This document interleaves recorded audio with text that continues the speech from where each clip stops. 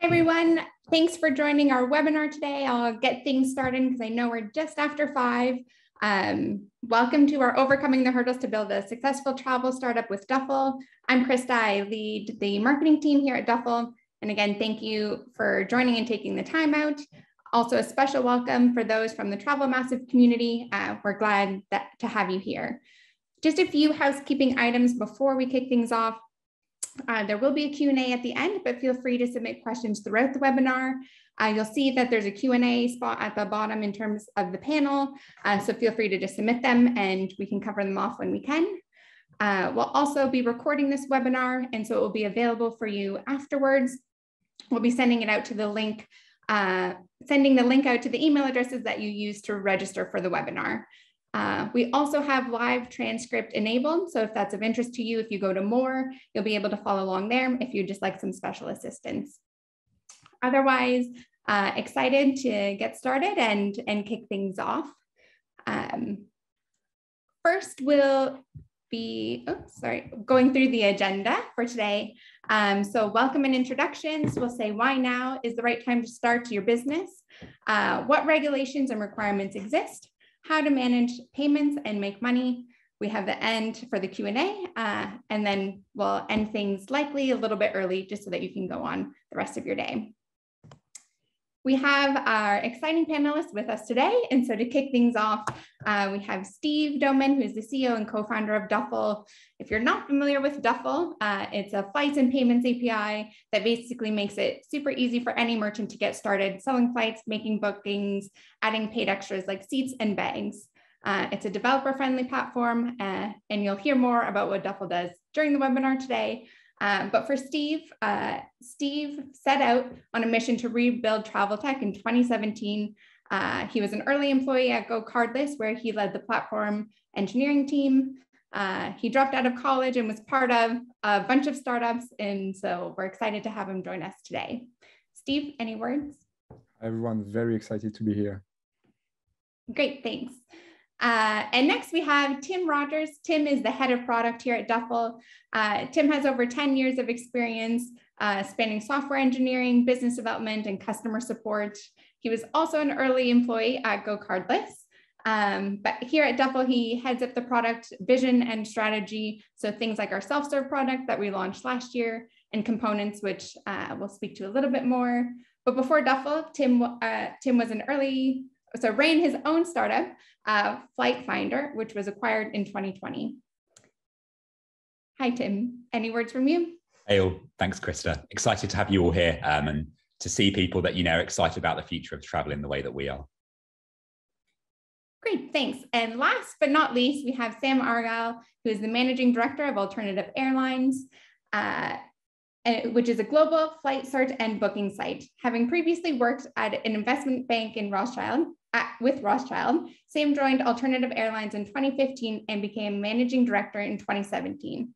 During this time, Alternative Airlines was awarded a place on the 2019 Sunday Times Tech Track list, showing the fastest growing tech companies and growing from six to 60 employees.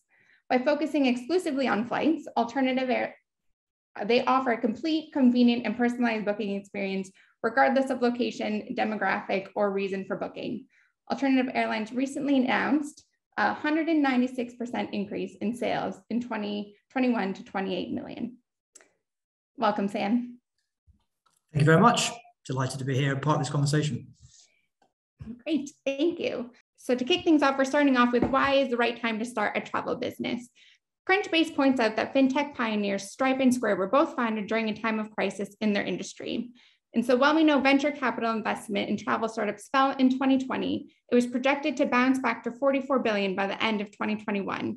And we've seen some investments in purchases such as Hopper raising 175 million, TravelPerk at 150 million, Fly Now Pay Later 75 million, just to name a few. And so that's showing that there's appetite and opportunity coming back to the industry. Plus, we know there's also potential growth and demand for travel with 47% projected for 2022. Steve, can you share a little bit of, of your take on it? Yeah, of course.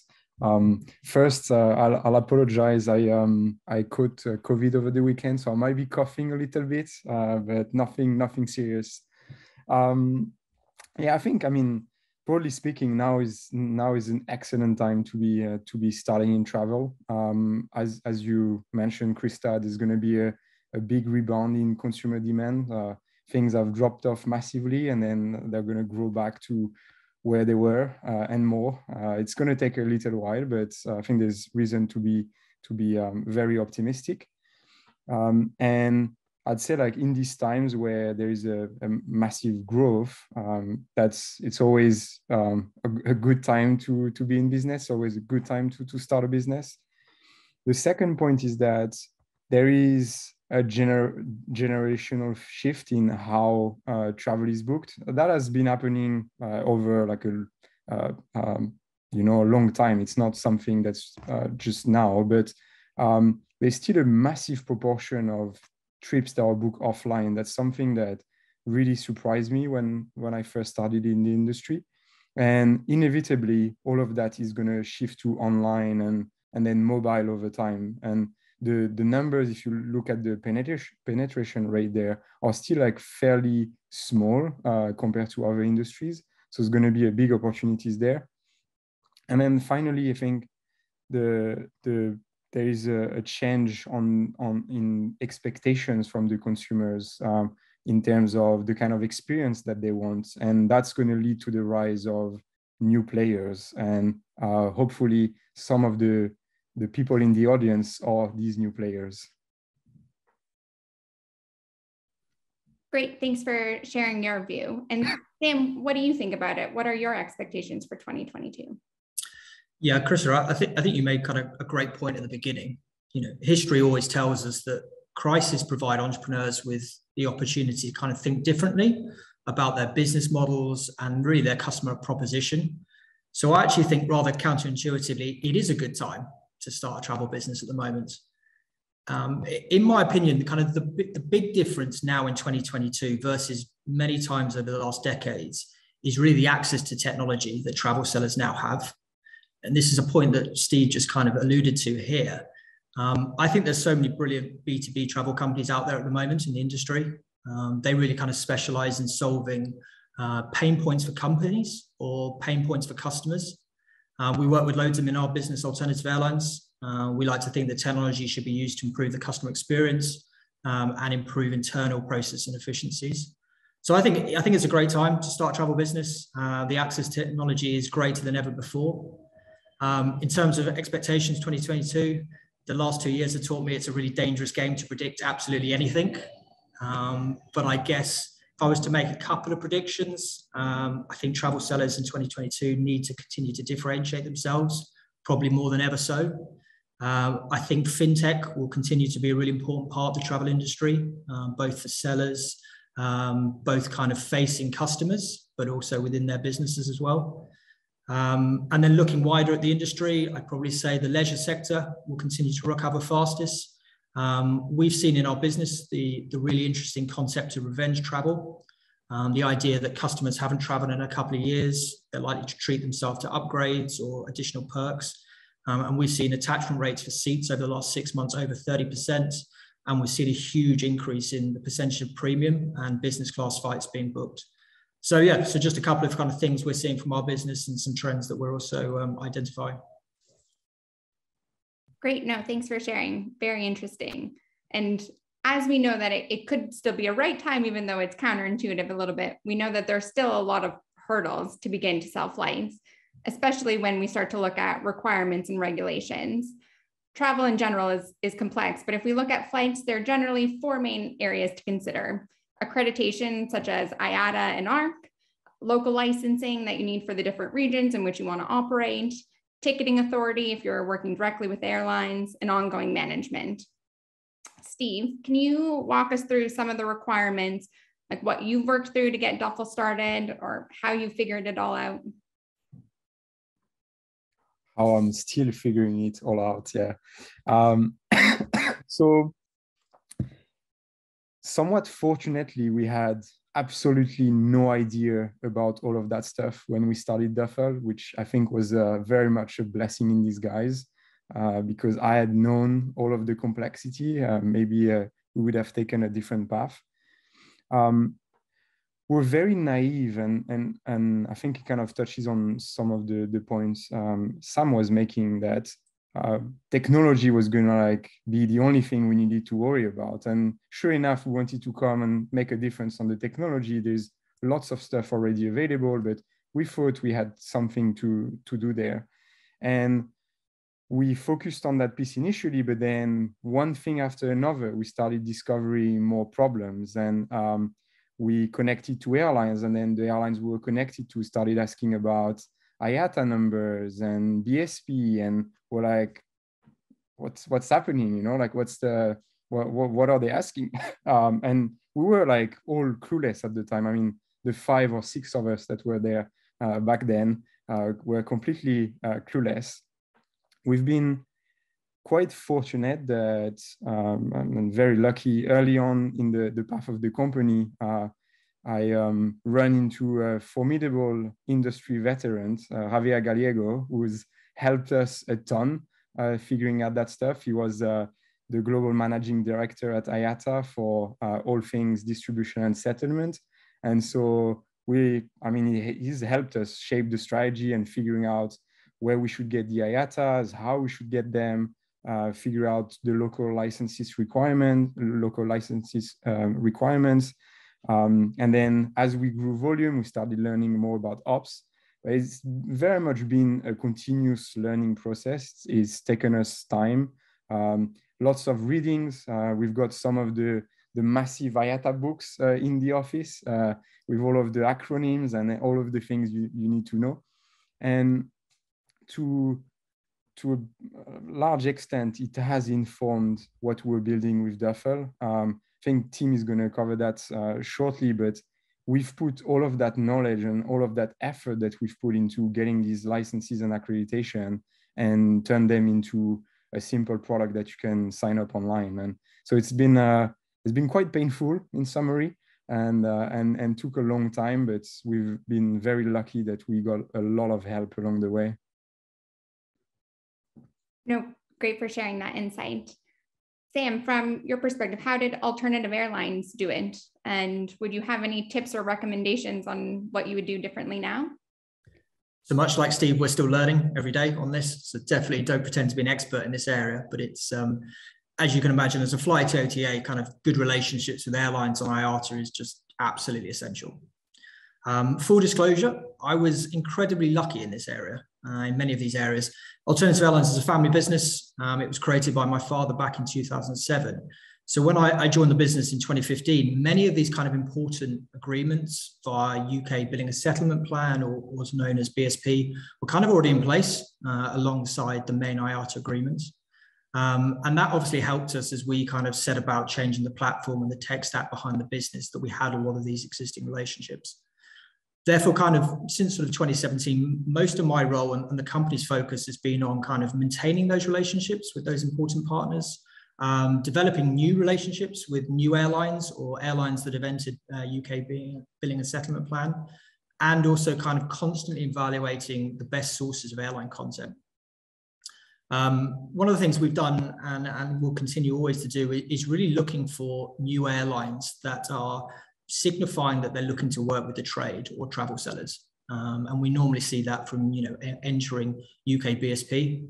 Um, so we're always reaching out to new airlines to discuss their distribution model um, and understand how we can support them in what they're trying to achieve too. We work really closely with IATA um, to ensure that they have very up-to-date information on our financial health, um, our sales trends and reports are understood and communicated. Uh, we want to make sure that airline partners really understand our business model uh, and what is happening.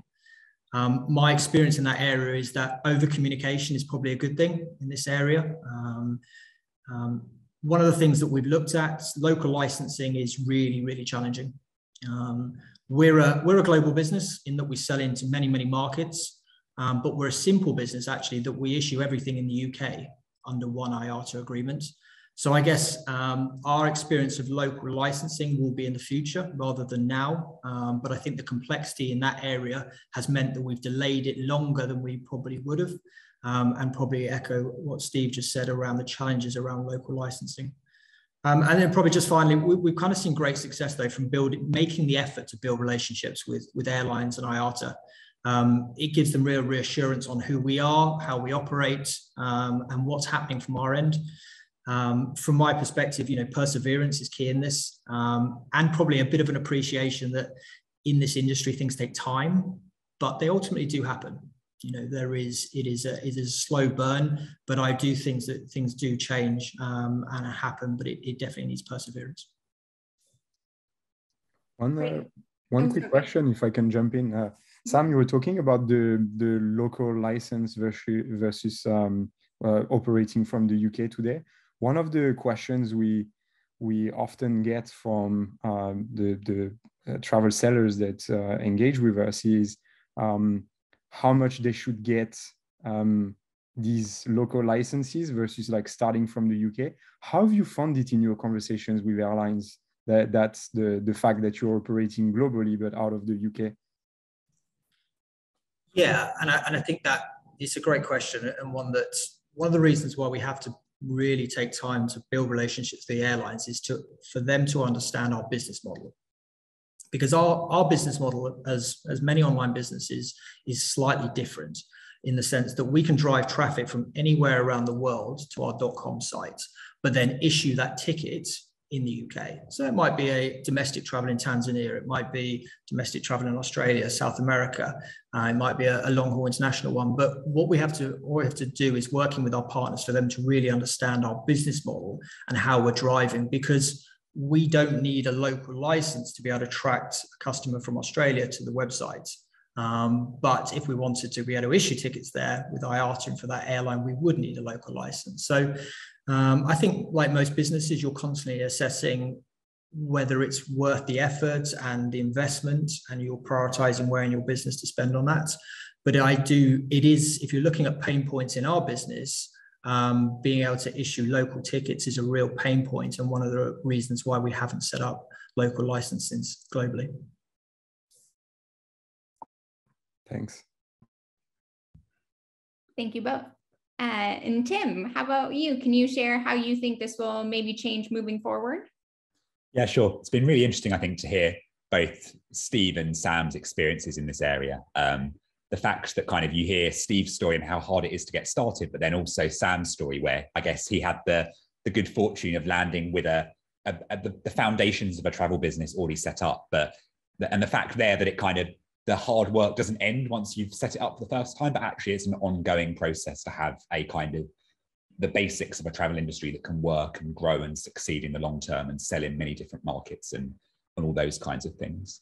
So I think really interesting to see that kind of end-to-end challenge rather than something that's kind of over once you get past the hump of building a business from scratch. Um, I think we're all quite familiar with how how frustrating the experience of, of, booking travel can be today. It might be for many of us a while since we've done that, given the the last few years of pandemic. But I'm sure we can all look back and remember those kind of those tough experiences, and it it, it just really makes me think that travel does desperately need innovation. So we do need people like Sam and, and others using Duffel kind of coming in with with great ideas to to change travel for the better. And as as Sam said himself, you know, I think there's no better the time than the start of 2022 to to think about doing that. But from from what you see through the stories we've just been hearing, you know, like the barriers of being the barriers to being able to do that are, are often really quite high. You know, there's the accreditations, there's the local licenses, there's the airline relationships, but more than that, there are a bunch of other things we haven't even mentioned, you know, the amount of kind of airline industry knowledge and jargon you have to be able to deal with to even kind of do the basic job of selling flights is is really quite an insurmountable obstacle and it's not something that's like easy to understand or get to grips with there's not like a blog post you can read on its own or a book you can buy that that solves all that stuff for you so that's something you kind of have to have to dig through it's ultimately at, at duffel it's a problem that we've really wanted to try to solve because we we want to like take away barriers to people being able to build new and exciting travel businesses. You know, we need that innovation. We need people coming into the industry and building new things. And what we're really excited about is reducing the barriers and, and making it possible for people to do that so that if you've got an amazing idea for a travel business with a better customer experience or better service or something that no one has imagined before, trying to make it so that all these things like accreditation and setup don't have to be a barrier to doing that. So you can start building your idea and, and get something work, working really quickly. So with the way that we've built Duffel today, it's it's actually possible to skip all of these painful steps and get everything you need to sell flights in just a few clicks. We call this Duffel content, not a very original name, but it's the, it's the one that we've gone with. And with that kind of product, you get the accreditation, the airline relationships, and more just ready to go in a box. And I think thanks to that product, we've already seen lots of amazing new travel businesses launch with Duffel, and we're excited to see many, many more, including hopefully from some of you who are who are here with us today. Um, and one thing to note is if you kind of start on Duffel and use that Duffel content service, so you you take all that stuff out of the box, the the accreditations, the relationships, all that kind of stuff. You're not stuck there. We're not necessarily trying to say that you have to use that forever, and you know you can't build your own relationships and get your own accreditations the, the way that we've built our platform allows it you kind of to seamlessly transition between those worlds. So you can get started really quickly, build something, test it with customers, you know, start generating revenue. And then later, when you want to, when you're ready, when there's value in it, you can start to do that kind of stuff yourself. And we have customers that are right at the beginning of that journey, customers who are kind of halfway, and customers at the end. And indeed, customers who, you know, even as they grow, decide to continue to use that service because they find it valuable. and It takes away bits of bits of selling travel that are hard. No, thanks for sharing. Those are, are great insights. Um, we did have one question come in that's related, so I can hop into it now. Do any of you have any tips on, on how to differentiate as a travel seller? We talk about being differentiated. Are there any tips or examples on secret sauce? I see Sam raising his eyebrows, doesn't want to give away the family secrets. Not at all. No, it's like a million dollar question, that isn't it? That, that that's what every business wants to know the answer to. Um, maybe I'll hand over to Steve on that. Yeah, happy to take it. Um, I mean, there's like a lot of examples I think I could pick from. One that um, particularly um, close to heart at the moment, or something that uh, I'm, I'm, quite invested in, is thinking about the post-booking customer experience. Um, the obviously the, the last two years have kind of served as, a, as an example of what not to do in many in many cases although i'd say that the industry as a whole has reacted quite quickly where um, where things are, are not as good as they could be is on the um, the automation side of things so i think there's still too many things that you have to do uh, manually where you have to uh, reach out to airlines call centers or maybe travel agents uh, call center. And this could be uh, a lot more automated and self-serve. And um, that's like one, I think, very big avenue for differentiation today. And we're seeing merchants thriving um, by doing customer success, uh, customer support much better than uh, what's typical in the industry. Uh, so that's definitely a one, um, I would be one answer out of many others, but um, maybe Tim and, and Sam have others. Yeah, I'll offer a what not to do answer. I think probably the worst thing you can try to do is think that price is the thing that you're going to compete on. It just ends up being a race to the bottom. We talk to lots of people that try to do that, and it doesn't tend to work out terribly well for them. The market is incredibly competitive, and margins can already be quite limited as it is, unless you're very creative. So if you're saying, you know, my way of winning is going to be being the cheapest, not only is it probably going to be impossible, there's always going to be someone who's willing to undercut further. You know, you're probably not going to be building something very sustainable. So the key is to look for ways of differentiating, I think, outside of that. And I'm sure Sam can Sam can share maybe some of the ideas he hasn't prioritized, some of the ones that you know he's put on the back burner and you know decided not to take himself. I think you make a great point there, Tim. Yeah, I think the the race at the bottom on price is is very short termist. Um, and it's, it's very hard to generate real customer loyalty in the sector by doing that. So I think that's a very good what not to do. Um, I'm, my advice here would probably be pick things you're good at and double down on that. Um, you know, we we only do flights. We don't do car rental. We don't do hotels. We want to be the very best, very best in the business at flights, and that's a big enough project. You know, every customer globally, wow, every market, every reason for for booking a flight. Um, I can't even imagine the complexity of a business running it with lots of other products alongside it. So, my advice, you know, whilst that's not pure differentiation, I would say that pick something you're good at and become the best at it rather than they're trying to be um, middle ground on everything. Great insights and actually leads into a little bit of our next topic around payments. uh, and how to make money on flights. So, Tim, as you already mentioned, margins are razor thin. Uh, so it's hard to understand of how you can really make money on flights. Um, so Tim, if you don't mind jumping in further and sharing a little bit more about the process, because this area is also complicated, similar to those regulations and requirements, like who's involved, what options are available, what are some of the things that you need to consider? Yeah, of course, happy to do that. Um, if we're talking about this kind of topic of payments, you know, there are there are really two perspectives you have to think from. The first is how am I going to pay airlines? Because unsurprisingly, they want to get paid when you sell a flight to a customer. And secondly, how are you going to get the money from the customers? Both of those things are much thornier than you might expect. Um, paying airlines could be a whole other webinar, and, and maybe it should be, but I'm gonna I'm gonna focus on the customer payments part today. So, how do you get the money from your customers to you, so that ultimately, I guess, you can pay the airline and fulfill the fulfill the service they want to book. As a shameless plug, though, the the Duffel content solution that we um, that I mentioned a bit earlier does solve the airline part for you. So something to something to dig into a bit. So anyway, uh, back to collecting payments from your customers. There are so many payment providers out there, and it's it's pretty difficult to know how to choose between them. When you're picking a provider as a as a new travel business, I'd really say there are four things that you want to be thinking about: choice, cash flow, cost, and control. So first off, choice. That's that's really about the payment methods that you actually offer for most people selling travel online, you'll probably be wanting to focus on the most popular payment method, which is card payment in, in most of the markets that I suspect people in this in this webinar are from. But depending on where you are and where your customers are based, there there might be other payment methods that are are relevant or potentially more relevant actually than, than card payment. Secondly, I'd say cost is something you need to be thinking about. So you, you need to watch out for how much it costs to collect payment from your customers and how much that's going to eat into your margins. Some providers can be much, much more expensive than others. You depending on, you know, the provider you end up with, you could end up paying, you know, five to 10% in the absolute worst cases. And that's a, a lot to lose if you're, you know, if you're on fairly relatively thin margins anyway. Thirdly, I'd say control is really important.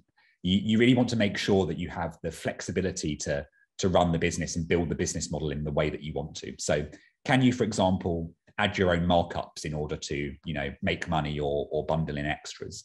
Can you sell on mobile devices as well as on the web? you need to be thinking about these kind of things because you don't want your payment provider to be holding you back from the, the stuff that you really want to do to succeed as a business and to and to differentiate. And finally, I'd say cash flow is a big thing to think about. You'll need to make sure that you can meet your payment terms with, with the airline or the other travel supplier that you're buying from. Much of the time, at least in the airline space, you're going to need to pay the airline upfront. So you'll want to keep that processing time of payments you're collecting from your customers as short as possible to make sure that you can kind of bridge the gap between the two. And on top of those four things, you also need to make sure that the provider that you go to is willing to accept travel businesses. And the reality is that many aren't so keen on travel because it is seen as a kind of a high risk industry. And not most payment providers are not necessarily well set up to deal with that risk or to help you to mitigate it as a seller. So we've got the kind of four things plus access there. We we've spent a lot of time over the past couple of years talking to travel businesses, building their businesses from scratch on Duffel. And it, it turned out there wasn't really a great solution out there to those problems. So we we built one which which we call Duffel Payments. Come back to that a bit in a in a few minutes, but we'll let um, someone else chat for a bit. Thanks for sharing, Tim. I like I like the four C's angle. Um, Sam, I know Alternative Airlines offers a ton of different currencies. I think over 150 um, and the ability to pay later. Can you share some of your thoughts just around payments and, and collection? Yeah, sure. First of all, Tim's just given a brilliant overview of many of the challenges and opportunities that we face on payment side in our business. And those kind of four C's that he mentioned, we, you're always evaluating those. You know, even I'd say a relatively established business like ours is always evaluating that. So I think that's a great overview of it. Um, quite simply, we see payment offering as a key differentiator. You know, we, have got, as I mentioned earlier, we have a very global customer base. So, you know, we have to offer local relevant payment options. Um, someone visiting the site from Nairobi um, has a very different payment preference to someone from San Francisco or Sydney. Um, so we do a lot of work with local payment partners to ensure regional payment options are available um, and make sure that that payment experience is, is as good as possibly can be. Um, as you mentioned, we do a lot of work in buy now, pay later solutions on the site. Uh, we want to give people flexibility in how they pay for a flight purchase. You know, typically in your own life, you'll probably pay for your car, your house, your furniture on credits. but travel is is is probably one of the industries that hasn't embraced as much but it is changing um, we are seeing a lot more demand from customers for that and a lot more travel sellers and airlines doing it um, so we offer, you know, longer term monthly financing options through partners such as PayPal Credits um, and shorter term um, buy now, pay later in six weeks. Uh, we see great customer satisfaction on that, where people can pay for like last minute unbudgeted travel using uh, a financing option. The other area that we're seeing great demand for at the moment is cryptocurrencies. Um, they account for about 1.5% of our revenue at the moment. We see that growing to 15% next year and 30% by 2025. Um, it's, we accept over 70 coins through our site. So uh, I think there's a, there's a lot of innovation going on. It comes back to the point I made at the beginning around fintech being a huge part of travel businesses, both facing the customer internally. Um, I will conclude by saying I agree with what Tim said. Payments is super hard. Um, we dedicate a massive amount of time uh, and effort in the business to improving that experience, understanding payment data, um, and offer, offering really personalized experiences. Um, I wish when we set this up seven years ago, there was something like Duffel Payments around because we would have definitely, um, we would have definitely benefited from that because it, it is hugely challenging this area. And if we want to even switch a little bit from payments to also how to make money on flights, is there a way that alternative airlines looks today, or is it grouping a lot of different things together? And that's kind of the model for how to make money on flights. Yeah, sure. Um, so, you know, as I, as I said, we're, we're a single product focus with flights. Um, but one of the key kind of margin contributors is obviously ancillaries alongside that. Um, for us, we've got to make sure that balance is right. We want to get the right type of ancillaries for the customer, and we don't want to overload the booking experience with too much. Um, the whole point of our site is being able to book a flight super easy and conveniently wherever you are. So it's a real trade off between the two. Um, but just to give you a bit of an idea on our site, we kind of break ancillaries down into two options. One is kind of enhancing the flight booking experience. So within those, we have uh, bags, seats, uh, priority boarding, automated check-in, things like Wi-Fi potentially in the future. Um, it's always great when I speak to the Duffel team because I know Steve and Tim very much prioritizing the seats and the bags works with NDC, which is incredibly important for us, not, not only from a margin contributing point of view, but really from a, a customer experience point of view. If you want to choose your seat and you can't choose your seat on a website, you will just abandon the purchase. So it's absolutely critical to make sure you have those ancillaries alongside. Um, and then the second type of ancillaries that we tend to we tend to sell with our with our booking process are ones that reduce the risk for customers. Um, we all know that buying a flight isn't a lovely purchase; it's quite a high risk purchase. So we do uh, we offer a number of products on the site that give customers flexibility over the, the flight purchase uh, and real reassurance in the event of circumstances. Um, and we see that gives customers confidence to book. So just to wrap up, probably two types of ancillaries, one that enhance the flight booking experience, which is critical customer experience, and second one that reduces risk for customers. Um, and that's how we kind of drive some margin alongside um, uh, the flight purchase. Very interesting. Thank you for sharing. Uh, Steve, if we go over to you, what are some examples of the ways that you think about opportunities for making money on flights?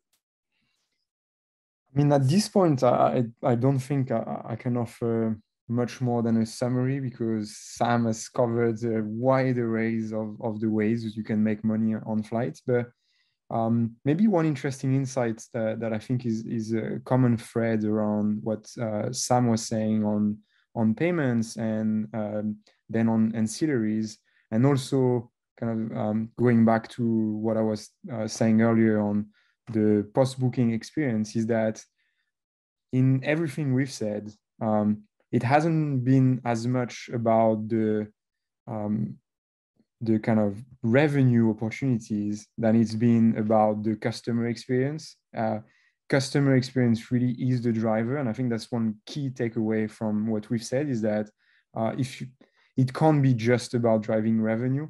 Um, revenue will come as a result of offering, offering some kind of differentiated experience from a, uh, for the customer, whether it's getting them um, local payment methods, uh, providing an excellent post-booking uh, um, servicing experience, or offering ancillaries, the right ancillaries at the time of booking.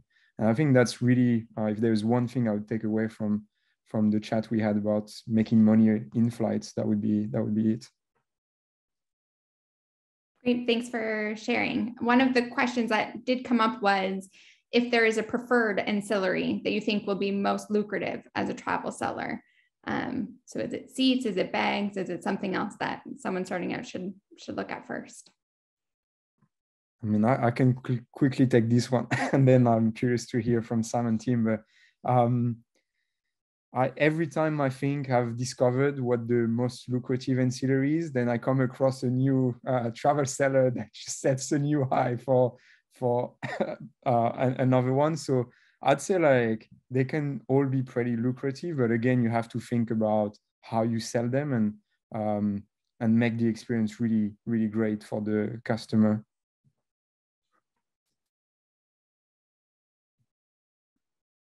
Sam, Tim, either of you want to jump in?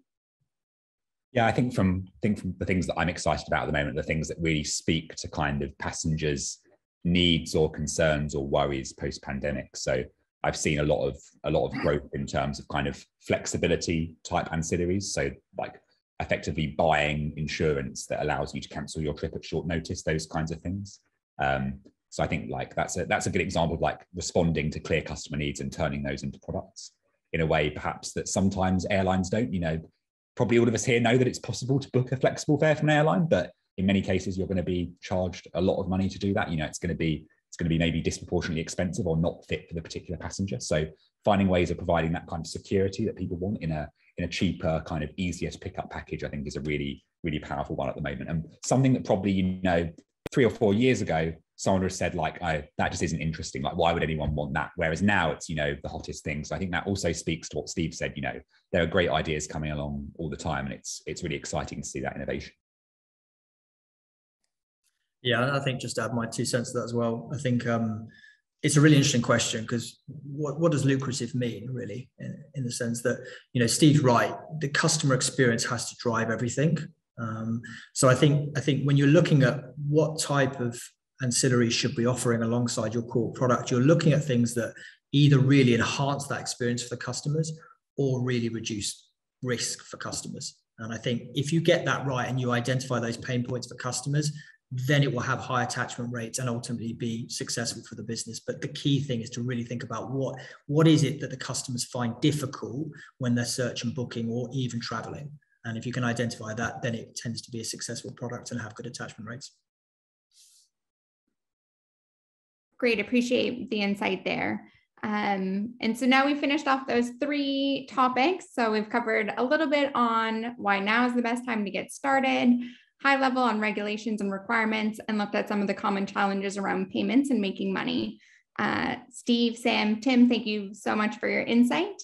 Um, but we're not done quite yet. We still have some time for some Q&A. So um, all the attendees, feel free, please feel free to submit your questions and we'll go through uh, a few of them now.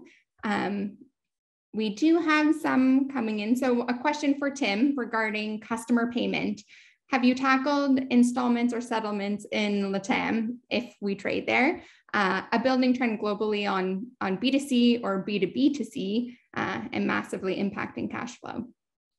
Yeah, it's a really, really good question. Um, very aware that in some markets, particularly in Latin America, this is just an absolute must-have, and I'm sure probably Sam, from his experience there, will will, tell will tell you the same thing. You know, without without those options and without if you don't have the right payment options, the markets you want to sell in, you're just going to be uh, you're going to be dead in the water. Really, like you're you're not going to be able to sell there. And you know, installments is a is a clear example in Latin America. And I think there are there's an argument for saying that the kind of use of installments is going to become more and more important, even in you know the the Western like European and American markets that we many of us might be more familiar with. This stuff is becoming becoming more and more popular.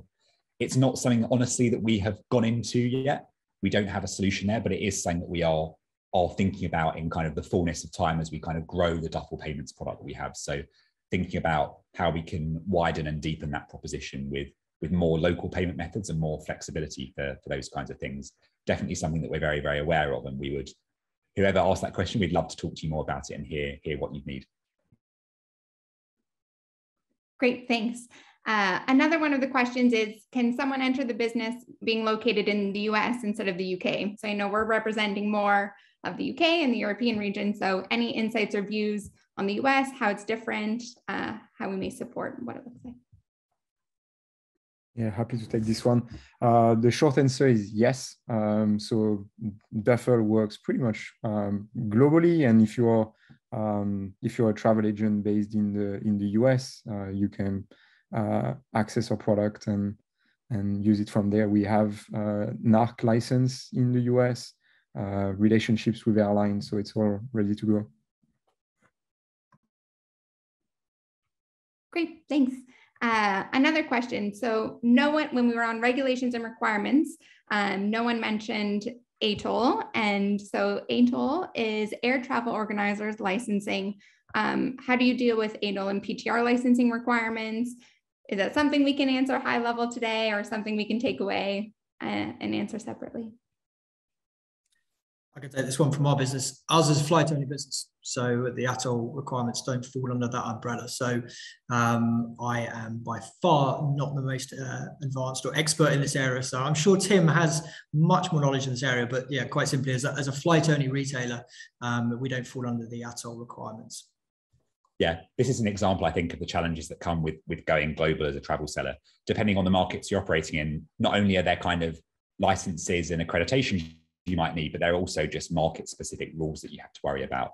So this particular case is about how in in kind of European Union countries plus the UK, there are rules that basically say if you sell a package, so if you join together multiple travel services, so for example, flights plus accommodation, then there's certain kind of cover that you must provide around that package to make sure that if you go out of business as a travel seller, the, the the customer still gets to go where they where they book to go. So you're responsible as a travel seller for providing that kind of protection right now that isn't something that we that we kind of take care of for our customers but it is definitely something that we would like to go into and we, we see as an, an opportunity for the future. So if you were planning to use duffel or indeed using you know any other kind of you know api or flights provider to sell flights plus other travel products like car hire hotels etc then this is something you do need to pay attention to in in many markets. Great. Thank you uh, Sam, you mentioned seats on NDC. Is NDC the way to go for content, or or how do you look at NDC? Cool. How long have we got? That's a, that's a, yeah, that's a great, sure. great sure. question. You have asked that. Really good question. Um, where do I start with that? Um, first point, seats are super, super important to the booking process. Said that already during it, but it is really important where you source your content from to sell airlines is really important as well. I think you need to choose a partner that it understands that the ancillaries associated with the flight content are as important as the flight content. And I think your choice of technology provider in that area is really, really important because some prioritize it, a lot of others don't.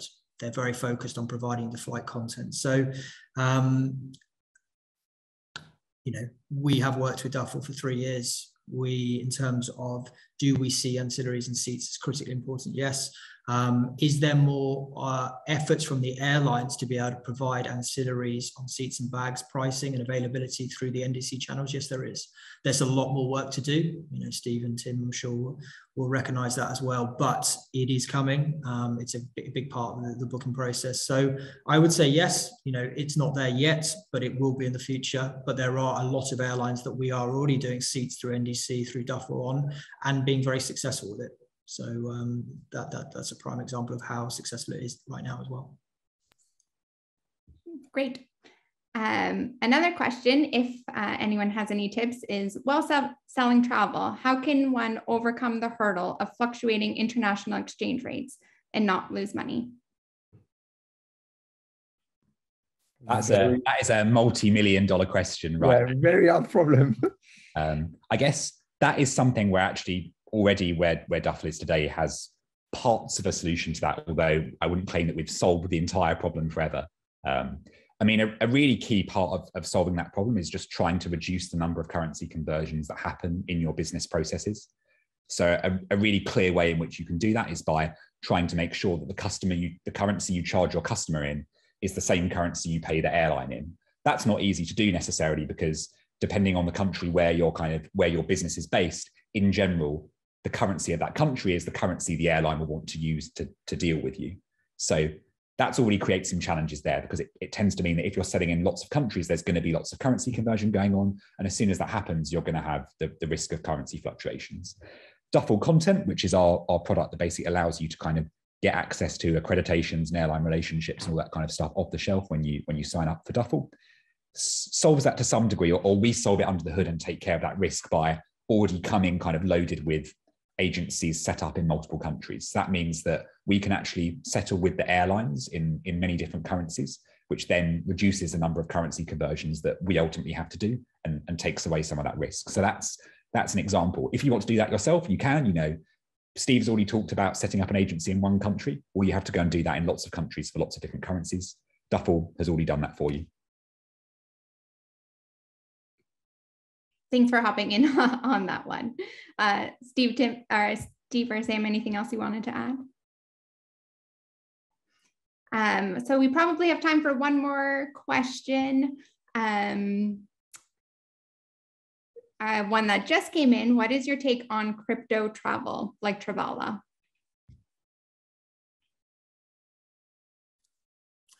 Um, yeah, it's it, that, some good, good questions. Like really good questions. Um, again, this is this is a prime example of probably the travel industry being a little bit slow to embrace technology. Um, you know, cryptocurrencies aren't necessarily a particularly new technology; they've been around a while. Um, but what we're starting to see now is that maybe four or five years ago, a lot of cryptos was used for investing and speculation, whereas now people wanting to buy products with cryptocurrencies. Um, and I think there is there is growing demand for people to be able to use the, the assets they have in cryptocurrencies to to buy travel, to buy flights, to buy hotels. Um, the company that was mentioned there is, is a prime example of someone specializing in providing travel with a, with a focus on cryptocurrencies we're looking at it from our perspective to be able to provide our customers with that ability to be able to pay for it. Um, the really super exciting thing around cryptocurrency purchase in our business is the AOV is almost 60% up on regular purchases. So we're seeing a lot of, you know, as you can imagine, a lot of business class flights being purchased with it, a lot of long haul, um, a lot of trips to the Maldives and Mauritius and places like that, as you can imagine. So it's um, it's a great one from our business perspective. Um, again, it just comes back to this point around differentiation, and um, it's also a nice way to be able to attract a different type of customer and demographic as well. So um, so that's what we're seeing in our business cryptocurrencies. Great, thanks for doing. Oh, go ahead. uh, going back to uh, very, very briefly, going back to something Sam was saying earlier, I think this is a great example of doing one thing and doing it well. Uh, they're just focusing on a very specific thing, which is uh, cryptocurrency acceptance, and then going after it full force. So definitely. Um, um, I mean, I know it's still uh, it's still quite early uh, in that space in general, but definitely um, a recipe for success uh, generally uh, when going in flights. Perfect. Well, that's all we have time for today, unless Steve, Sam, Tim, you had any last words that you wanted to, to bring up or share. Uh, then with that, thank you all so much for joining. Thank you for submitting your questions. I know we didn't get all of them today. I'm happy to take them off and respond to you separately. Uh, if anything else comes up, uh, feel free to contact us through social media, uh, or also you can email us directly at hello at duffel.com and we'll get back to you as soon as we can. Uh, we'll be sending a full recording of the webinar out soon, so keep an eye uh, and we hope to see you soon at the next Duffel webinar. Um, also, for more content related to these topics, we did come out with a content series. So although Tim mentioned you can't get all the information in one blog post, we've been trying to try uh, to distill the information a little bit. So uh, if you go to duffel.com slash start a travel business, you'll learn a little bit more about these topics there. But again, thank okay. you so much. yes. Thank you so much for joining and hope you all have a lovely evening.